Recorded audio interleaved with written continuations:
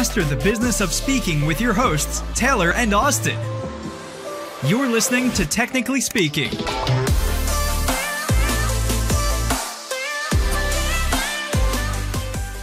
Welcome to another episode of Technically Speaking. We're your hosts, Taylor and Austin, and today we are talking with presentation skills expert Rich Mulholland. Rich is a longtime friend of ours at SpeakerFlow and hands down the best presentation coach we have ever worked with. Yes, I am being dead serious. He has an incredibly refreshing take on what it means to deliver kick ass presentations and how to slay the boredom of your audience members. The number one thing killing your presentations. Rich discusses with us the missing link in all of your presentations, and it might not be what you're expecting. So let's dive in. As always, stick around until the end for some awesome resources, and we hope you enjoy this one. And we are live. Rich, man, welcome to the show. It's so great to have you here today, man. Uh, Taylor, Austin, it's just so rad to be with both of you. Yeah. Oh man, you know, I've been excited for this one ever since I first saw the website. I know that you and Taylor have been able to connect in the past, but you have such a cool brand. I am such a big fan of the graphics and the colors and everything that you use. So from, you know, SpeakerFlow, we're obviously like big into, you know, bright colors and cool, colorful modern things. And you had some graphics on your website of you know, like the rock on symbol and anyways, a few other things that stood out. I was like, wow, this guy is really awesome. So right out of the gates, for those of you that haven't seen Rich's website before, do some Googling and go check it out. It'll blow your mind. It's the site to be modeled after. ah, thank you so much. and, and you know it's funny because now now we sometimes feel like I even argue with my team that I think we've become too corporate. Like, guys, what are we what are we becoming? We're getting so grown up. We used to have a big sign that said on the website, it said any asshole can put together a presentation. We're in business because so many assholes do. And that was like our or uh, then then it changed. And my other favorite one was don't hire us because we're fun and interesting. Hire us because you're not. that was our opening line on the website. Nice. It's hey. attracting the right clients, you know. You gotta gotta appeal to the right people. yep. I was just Certainly best that. versus favorite, right? Uh, yep. If you want to be somebody's favorite, you've got to be willing to be somebody else's worst. And I realized mm-hmm. long ago that I'd rather be favorite than best. I actually do think we're like amongst the best, but it's a it's it's a it's a crappy point of differentiating differentiation.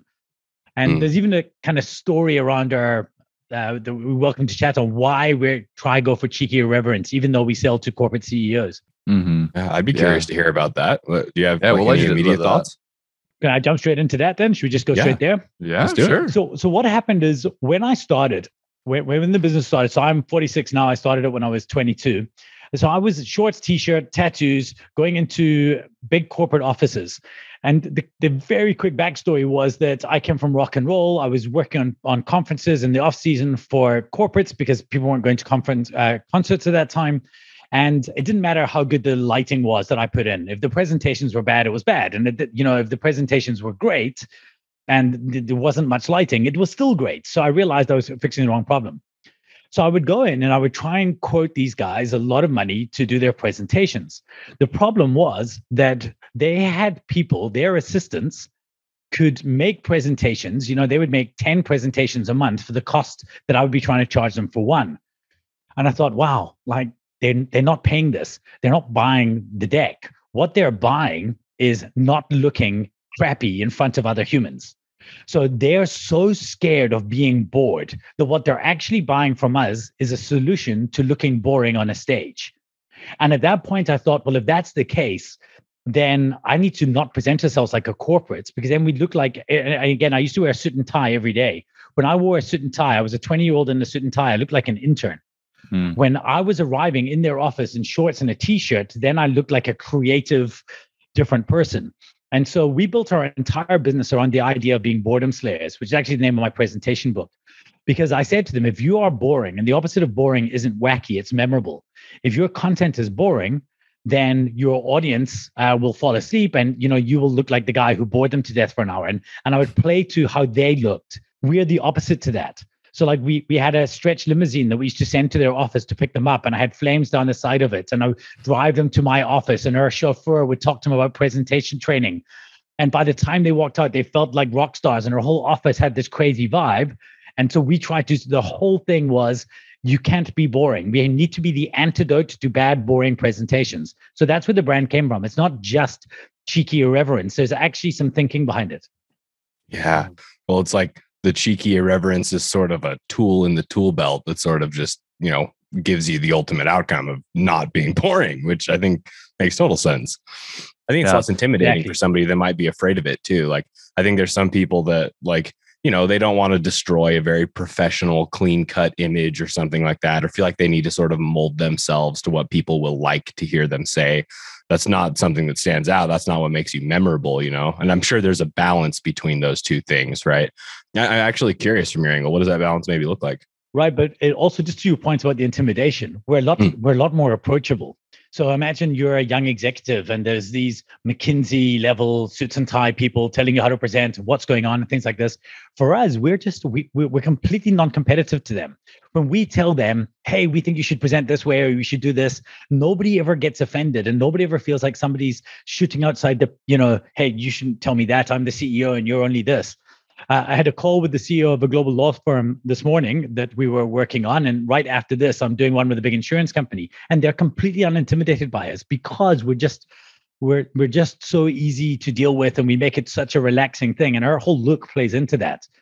When we started taking ourselves too seriously, and when I was wearing the suit and tie, again, they looked at me like a CEO only knows one way to look at a 22 year old in a suit, right? And that is like you're a graduate or an intern. And so that was a terrible mindset. I had to separate myself from from where they knew. Uh-huh. On the balance, it's tricky, and different customers will have uh, different levels of where they'll they'll accept that. What I realized is that I was willing to be somebody's no. I was very willing to be like, well, if this isn't right for you, if we're a bit too much on the wacky, crazy side for you, then that, that's okay. Then the people in the market for boring are spoiled for choice right? There's a thousand presentation companies that will talk to you in the right way, show up and talk to you about your body language and, you know, uh, you, what the words you use are only worth 7% of it, rubbish like that. Mehrabian myth bullshit. Sorry, I don't know if I'd like to say that. no, for sure. You're welcome to. Uh, I'm glad you brought all that up. Like it's the authenticity. And like when you show up as another human being, like it just levels the playing field. There's no like looking down upon or feeling like somebody's looking down on you with a suit and tie dilemma, right? Like you're just an approachable human being. We found a lot of that success here at Speakerflow. I mean, Austin and I are just a couple scruffy, scruffy dudes with beards with an extremely colorful website and a cat at the bottom of our website making a ridiculous pun you know and it, it's those little things that make you super approachable and make people feel comfortable i think and really kind of shakes things up okay well, first of all you and Austin are gorgeous men with beards. Okay. oh, well, oh, let's, Rich, my let's heart. not stop just on the front. On the, but I got to say, literally, the first thing that attracted us to you guys when I started stalking you through the back door with my Gmail address was uh, wow, these guys speak and think and act like us. They got a bit of attitude. There's, you know, I loved it. It was like a kindred spirits across the ocean. Yeah. I love the fact that you're unapologetically yourselves. Like it's, it's so clear, which is the first thing all of us, I'm sure all three of us teach speakers is uh, mm-hmm. you have to be the best version of yourself. I realized years ago as a speaker, I could never go to anyone. People say, know your audience. How? What do you how am i supposed to do that? I don't know. I mean you, we don't i don't even know now. I don't know what you identify as. I don't know what saying like this is literally the world we live in. I can't understand the the identity of my audience. What i can know is that i'm the best version of myself in every room. So uh, and that's not a statement of arrogance simply as mm-hmm. a statement of fact. So if I can find a way to bring my audience to where I live and to be an amplified version of my authentic self, that will resonate with some humans and I can get away with a lot. I can get away with saying a swear word here and doing mm-hmm. different things just because they realize it's just me being myself. And I don't mean offense to anybody. Yeah. And that's given me a lot of permission to spread the word about our business using like stage marketing, which I think is the is the most underutilized superpower that entrepreneurs have. I agree with that. I mean, we see the results of that for one thing, but I love that unapologetic authenticity that you're just talking about. I I, I don't know. Like I, I made a commitment to myself a long time ago that I was never going to sacrifice the person that I know that I am to be somebody that somebody else wants to be wants me to be. Like I'm not going to make that trade off. It was a thing that drove me to start a business because I was not somebody that easily played well in other people's sandboxes. I kind of hmm. needed to have my own sandbox, and I think that for some people that's that's a turnoff in some ways. Like I know not everybody loves us. I've got a giant poster in the background that I have sometimes says "Get shit done," and that turns mm-hmm. some people off. We've had people not be super happy about that, and like that's okay. Like to your point, right? Like we will be some people's favorites, and we will be some people's, you know, not favorites, and that's fine. that's okay. That's, that's, fine. that's okay. That's, we don't need to be for everybody, you know. Big um, world out there. Well, you can't yeah. be. Yeah, uh, if you want to, if you start trying to be for everybody, then you start aggregating to the average. Yeah. Right. Mm. So then you've decided to be decided the average because you're not stepping out at all. And nothing about you as a business is average. And so years ago, my business coach, an old German guy, Will Fosser, we had a customer who walked into our so our old old office. Our receptionist was a blow up doll. We were very young, and uh, we, we'd put a microphone so that when they walked in, it would it would just say, "Hello, who are you here to see?" And we thought it was hilarious.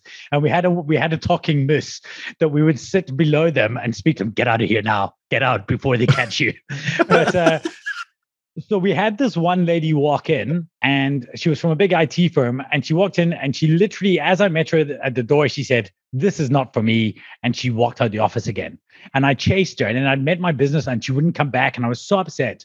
And I met my business coach that afternoon and he said why are you upset? Is this German guy? Why are you upset? And I, said like I know because she, she didn't even give us a chance. He said you've learned well that customer would have been a nightmare you would have been apologizing for weeks and months trying to be what she needs you to be. She gave you a gift of walking out your door. She's not going to love dealing with you. It's okay. Like let her go and, and thank her. Send her a message thanking her for knowing what she wants in a customer. And I did, and that was it. I thought I wish it was one of those cool stories where she came back, but she never did. And that's okay. I'm, I'm I hope she's happy. Right. But it would have been a nightmare dealing with her if I had to try be, hi there, hi, how are you? Lovely to see you. So Without nice. a talking moose and a blow up doll for a receptionist. oh my goodness. What a story, man. I have to sit in toilets. And so we have we had toilet seats as our reception chairs with magazines in the back. And as a funny aside, the men had no problem. They would walk in, they would take a seat, they would pull out a magazine, and they would read sitting on a toilet. In the history of my business, not a single woman would take a seat on a toilet sitting in a reception area. They're like, I'll stand. Uh, Wow. We're way more mature now. yeah. well, you live and you learn, I guess. But I mean, it just goes to show you. I mean, you can still get anywhere you want to be when you're 100% yourself. And I feel like a lot of this world of speaking and experts and getting on stage and so on can be I mean, honestly, there's a lot of pressure to feel like the average because you want to appeal to everybody. You want to grow your business. And I think what some people forget to realize is that if you really stand out, you're still going to grow your business. You're just going to find the right people that's perfect for you to work with. And it's going to make your life and your profession just so much easier. You're going to be way more happy working with your the people who resonate with you best. So I love that story. I'm curious, Rich. So your brand is the missing link without the vowels. So like what is the missing link exactly? Is that boredom? Is that is that the missing link for stagecraft? How did you land on that brand and where did that come from? Yeah, so the missing link without the vowels is actually just because we uh, couldn't get the Twitter handle. I figured, yeah. We've always been missing link. So even if our email address was missinglink.co.za, and we we it, what I will say is a complete aside, the biggest single misstep I made as a as a leader of a business was changing the domain to msnglnk.com. Uh, it's ah. just crappy and difficult and hard for people to find, and everyone mm. says it is, is it missing like we are missing link. Our company's called missing link. It has vowels. It's just we couldn't get there. And so we're now trying to pay a fortune to snipe it. And i've had to you know we've created these i need missinglink.com addresses fun uh enough to give out on podcasts and things just because trying to spell something is terrible. Missing link spoke about the idea of literally the missing link between your message that you want to deliver and your audience acting on it because. I think mm. that's what everyone does miss. They they think it's about creating beautiful decks. And look, for years we made money doing that component. We have designers and things, and I get it. But you write a good talk before you design it, before you deliver it. And a presentation's job is to deliver a message to achieve a result. And most people miss the link be- between those two things. They think that they're in the business of showing up and throwing up, just delivering a message, but they're not. It's only successful. The, you, you only get to check the success box if the audience has changed, not if you just delivered your information. At least mm. that's that's our take on it. I'm not saying you know this isn't the world according to Richard, but that's the belief system that we've we've decided to go to market with, and that's where Missing Link came from. That makes sense. So, are those components that you talked about there how you would define a kick ass presenter as somebody that understands those steps that somebody needs to take in order to get the outcome? Yes. So, I mean, I have again, I have some presenters that I think are my favorite speaker to watch is Malcolm Gladwell. I love it while I'm in the room, but I always forget what he told me afterwards. Mm-hmm. Uh, like, I think he's a he's beautiful theater to watch. But then there are other speakers uh, who are not good, typical good presenters like Derek Thompson. His talk at Google, no slides, standing behind a thing, geeky, too much information, shouldn't work. Absolutely should not work. Life changing, brilliant. It's like a brilliant talk. And I thought, like, wow, like I'm constantly frustrated. I watched the talk the other day and I nearly turned it off. The guy, you know, when they share their screen, but they're sharing their PowerPoint, but it's still got you see still see their in and, and then they go into show mode and, it, and I was like, oh, this guy's not even trying. He wasn't even going to show mode. I could still see his slides down the side. And then he delivered a presentation. His name is Vishen. Oh, he's from one. Yeah, trying to remember. His, this he's got this site that teaches people to be better humans. And he was a 35 minute keynote, and I felt like a different human being when he finished. And I thought, wow, okay, I've got to break my my my rules. And then I realized he did follow the rules. Uh, he he gave me a reason to care at the beginning. Then he gave me a reason to believe. Then he told me what I needed to know, and then he told me what I needed to do. Like that's the formula and uh, it can be improved we can we can add to that cake some beautiful icing but it doesn't matter how much icing you put on a bad cake like then then you're not going to shift your audience so while i love watching beautiful speakers delivering amazingly crafted content i also realize that the most effective presenter is the one who understands what they're trying to get out of it and engineers towards that. Nice. So obviously we want to deliver results on stage right? And there's a disconnect between actually the message and then delivering results. How do we know like when an odd when we've delivered those results? How do we know like as a presenter when we're on stage and we're thinking about the message we just delivered we might be convinced that our model our way of thinking is going to change the audience but how do we actually confirm that that is resulting in an outcome? Do you have any tips or ideas around that? So as a speaker or as a corporate presenter what would mm. you? Well, can you actually? You want to make a distinction there for me? I'd, I'd be curious to hear about how you split those up. So we have two primary client groups. The one would be public speakers. Now they have two mandates. Uh, they have their own mandate, and then they have the second mandate, which is uh, so what what the client hired them for. So the mm behavior change of the audience that the customer wanted them to make. So I've got one speaker we work with. I think I've actually introduced him to you guys because he's coming to the US, Nick Haralambous. And his job, his victory condition is I want you to make curiosity a core value of your business. mm So that's what he wants to do. So his measurement criteria, and if they make curiosity a core value of their business, he'll come and do a talk to all their staff for free. So he'll speak to the leadership team, he'll do that. And of course, all he's doing is he's seeding his thinking further into the organization. So it's a very clear mandate. And that's what he says to the customer going in. This is what I'm trying to achieve. And I want to enlighten this curiosity idea. However, his second idea is that he wants to get uh, people onto his email address and onto his database. So just before the peroration of his talk, just before he starts building to the end. So I personally don't like when the last thing the speaker says is, "Oh, and if you want a copy of my deck, I'll do that." I might say something like, "All right, so we're getting to the end of my presentation. We're nearly done with our time together. If you do want any of the slides, feel free to grab it from here. But let's talk about where where we're going. Let's talk about where I want to leave mm. you today. And then I start my peroration of my build. And then I do the for them stuff. Now, in a corporate speaker, uh, if we're working with a leader of a, you know, the HR who's trying to instill a new management uh, program, we talk about the first smallest step. So the job of a presentation isn't to achieve the final victory condition. It's to get the audience take the first smallest step in the direction of where that victory looks. And we try to do something that's measurable. Send an email to a line manager or send a, a message to your team. Uh, schedule a presentation you know, we're going to give you the slides, schedule a presentation to your team for next week and invite everybody to come in and, and do that talk there. Smallest, most logical step that's getting them closer. That to me is how I would measure that victory. And we try make it something measurable for the business because that's how we show our success. We'll say you had 100 leaders in the room. So we usually try work on a 10% success rate. If I can get 10% of your leaders to do X, how much would that be worth to your business? Then they do that, then our fee always sounds small. And then what we try measure is that we've done more than 10%. You know, 25% of your people had scheduled these appointments. This is, you know, two and a half times what we said. So we see this job as being a great success.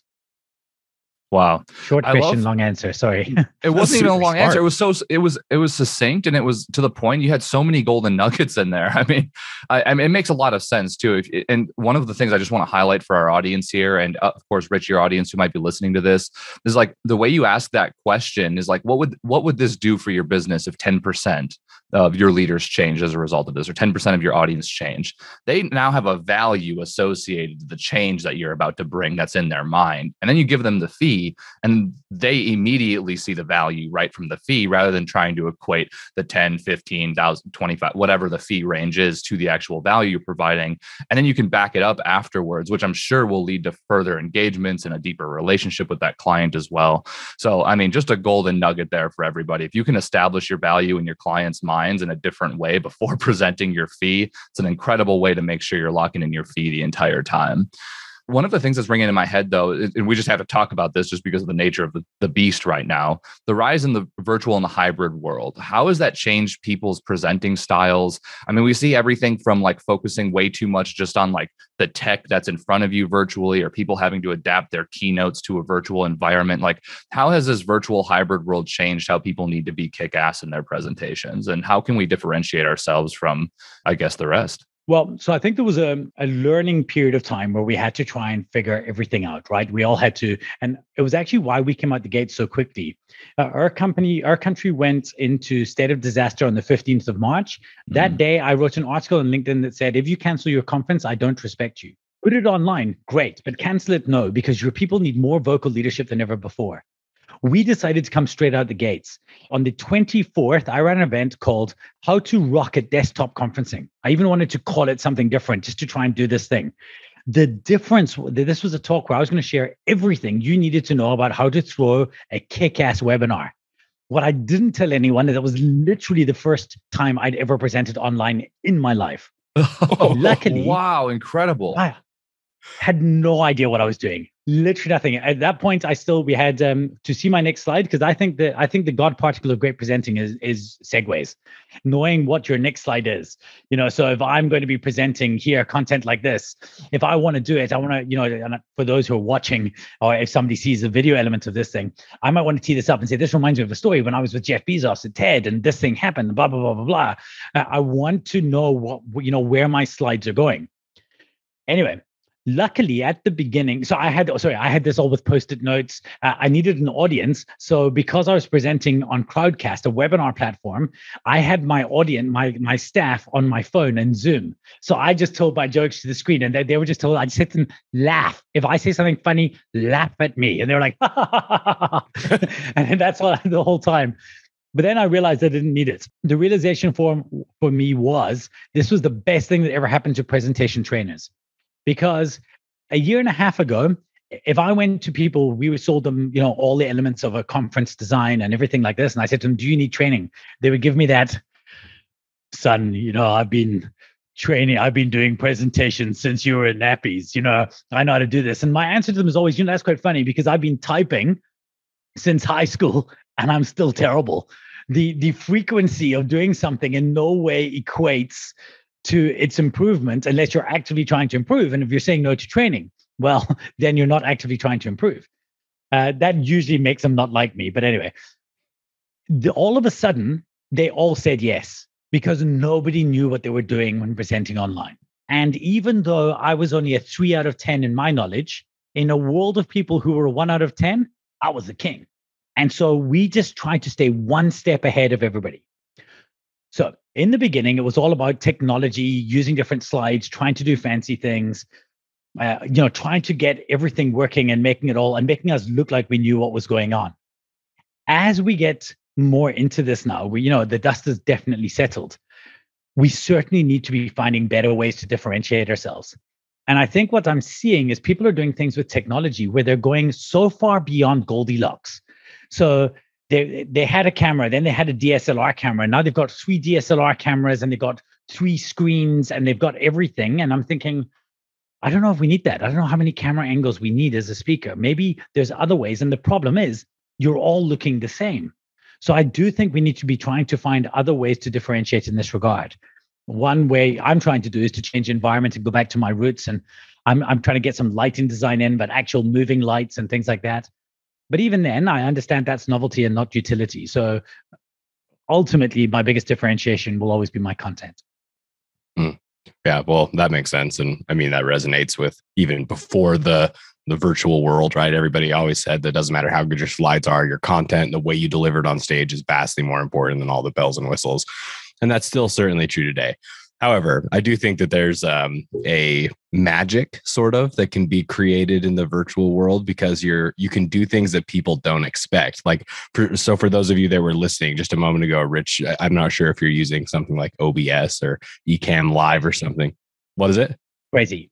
Prezi, got it. Yeah, that's that's cool. That's the second or third time I've heard that in the last couple weeks. But anyways, bringing up slides onto the screen with the camera and being able to play sound effects or things like that that can sort of add some spice to the actual content itself and get people re-engaged. Or I think that's that's important and it's cool. And for a lot of people that may just be in the audience of a presentation, there's people that have never even seen that stuff before. And so I think that it, it can be a cool differentiation. There just has to be that balance, right?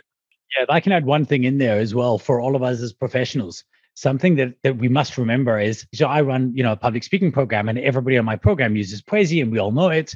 And then I kind of think, oh, this is all ho hum. Everybody's seen it. And then I realize every time I do this to an audience, what's big in my world isn't big in their world you know they, they're innovating in a whole different platform. So i'm a little bit bored of presenting like this my slides coming up. I don't give it a second thought. But if it's if i'm presenting in a zoom screen like this i actually see people's eyes go like what? And we try you know what it's changed for me is that we now think in terms of scenes and you know not in terms of like if i have this this one was quite fun. We think in terms of scenes instead of thinking in terms of slides and trying to change our mindset around how can we use the whole space even when I get bored of it, I, re- I remember that my audience isn't. It's the first time they've seen it. So it is worth, as professionals, that we remember that. Yeah, I like that. So this is a question I've been wanting to ask you since I saw this on your website. Uh, you talk about the action framework as it relates to your Boredom Slayer series. You know, I'm not asking you to give the secret sauce away here, but can you help us understand what that action framework is? Yeah, so I, I kind of alluded to a few minutes ago and I give this away. Everyone, I've done a whole YouTube series on this. I like, I totally, we're, we, I believe that the world needs an open standard for presentations. You know, it's the first thing I said to you guys when I reached out on mail as well. This is a cooperative sport. The supply of or the demand of bad presentations way out outweighs the supply of people who want to change that. Uh, we could all work together and collaborate, and we'd still have more clients than you could shake a hat at. So I want to make an easier framework for human beings to understand the basic building block of a presentation. I'm not saying it's the only one. I'm saying that it's one that will always try and drive an audience to action. We all love the rule of threes and we try and make things come in threes. My problem was all of these, you know, tell them what you're going to tell them, tell them, tell them what you told them, logos, pathos, ethos. Like that's missing argos for me, action. This only matters if the framework drives them to action. And that's why we added on a four step. and it's all about what the audience does. The four steps there's uh, we the give steps and then the tell steps. The two give steps are give them a reason to care. You got to buy your audience. So let me go through all four and then I'll give you a, a little bit of a. I'm happy to answer any questions on either of them. Give them a reason to care, give them a reason to believe, tell them what they need to know, tell them what they need to do. In the first two, you're giving it gently. I'm making you care. I'm creating an itch then uh, I'm making you trust me for what you now care about. That's something people often get wrong. They open with credentials. You're telling me your credentials, but I don't know why I'm interested in them yet. And then it's my legacy list, my three big things you need to know in order to do this. So that's to tell them what they need to know. Now I've got my, now you care and I'm credible. Now I'm telling you, you need to do this. One, two, three, and that bit of information. And finally, my call to action, tell them what they need to do. And that is where I end my presentation on driving an audience towards an action. Even uh, what uh, you know what we call it the double up, the closing two lines of closing two words of a presentation.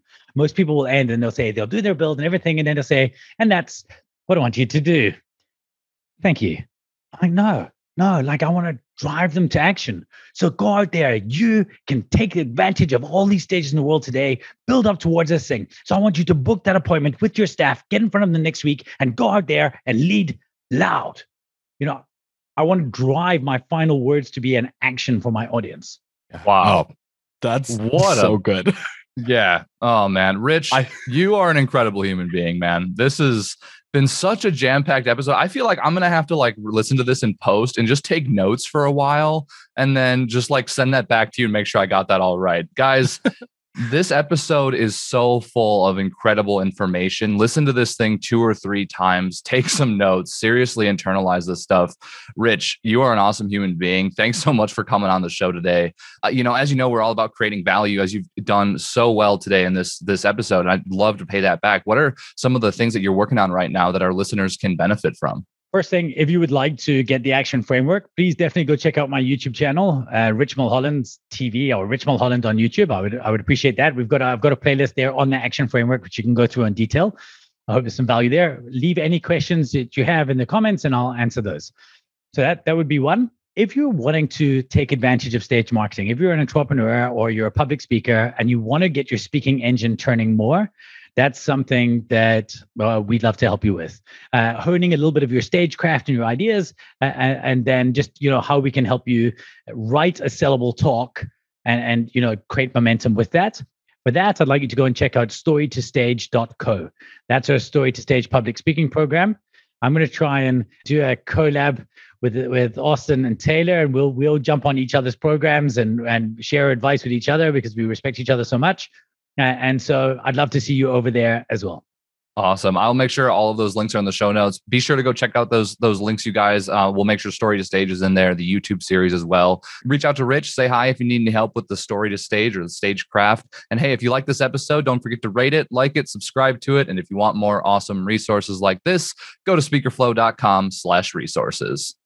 Thank you so much for chiming in. I just wanted to take a second to thank our sponsor, Auxbus. Auxbus is the all in one suite of tools you need to run your podcast. And it's actually what we run here at Speakerflow for Technically Speaking. It makes planning podcasts simple, it makes recording podcasts simple, it even makes publishing podcasts to the masses simple. And quite honestly, Technically Speaking wouldn't be up as soon as it is without Auxbus. Thank you so much, Auxbus. And if you are interested in checking Auxbus out, whether you're starting a podcast or you have one currently, get our special offer, auxbus.com slash speakerflow, or click the link below in our show notes. Thanks for tuning in today. Check the show notes for more info and see you next time. Later.